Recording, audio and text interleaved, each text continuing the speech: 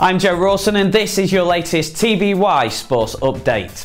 His reign has lasted just 21 weeks, 147 days and 12 competitive games. This morning, Leeds United have sacked their head coach Uwe Rosler. The news comes as a surprise to many as Italian owner Massimo Cellino only threw his backing behind the German two weeks ago, saying this coach is the best person for me and the team.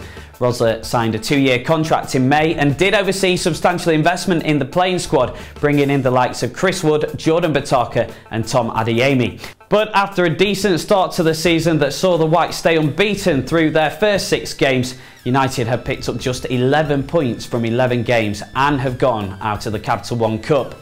Rosler's departure takes the number of head coaches dismissed by Cellino since he bought Leeds in April 2014 to five, and the former Rotherham United manager Steve Evans is reportedly taking training today ahead of being put in charge on a caretaker basis.